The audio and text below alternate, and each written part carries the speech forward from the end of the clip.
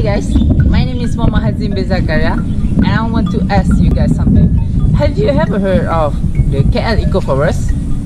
Surely some of you must have, must have heard of it. It is also known as the Bukit Nanas Forest Reserve. It's because during the Kelang War, Raja Asal used to plant the nanas plant at the hillside of the their territory. It is to prevent the enemies from coming to their territory because at that times people go to war without their shoes. So KL Eco Forest is a famous ecotourism destination in Kuala Lumpur. So this forest reserve is located near the city skylines icon which is the Kuala Lumpur Tower and it is situated actually besides the Kuala Lumpur Tower and it is approximately 11 hectare in area. But hey, enough talk about the forest. Let's actually talk about what is interesting inside the forest, which is the Malay camphor tree. The Malay camphor.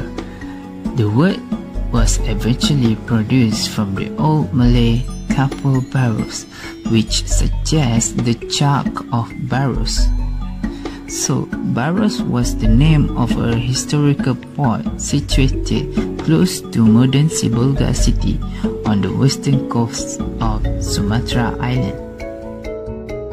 In earlier worldwide trade, camphor was well regarded all through Arabia in pre-Islamic times since it is pointed out within the Quran.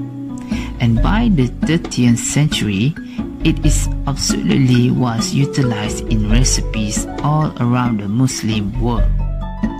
If you look up to the tree, you can see the beautiful view of what we call the crown shyness.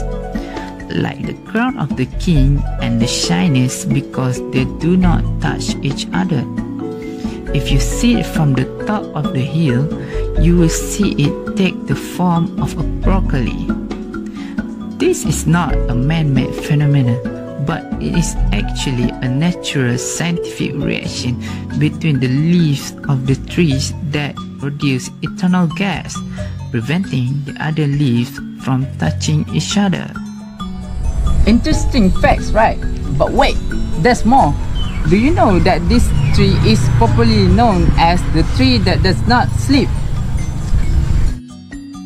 It is called the tree that does not sleep because it is a sacred herb used in healing insomnia, asthma, whooping cough, and pulmonary congestion.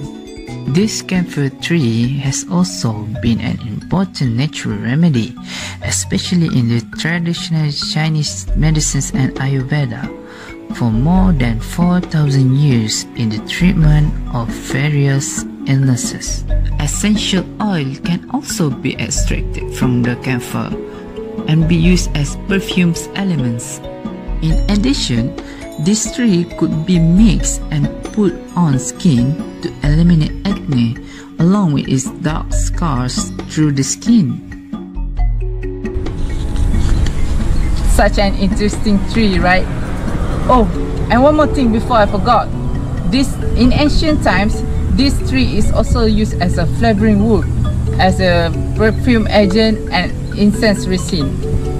It is, uh, is a fact that this tree has many other things stated, but this is the only thing that I can tell you in these short times.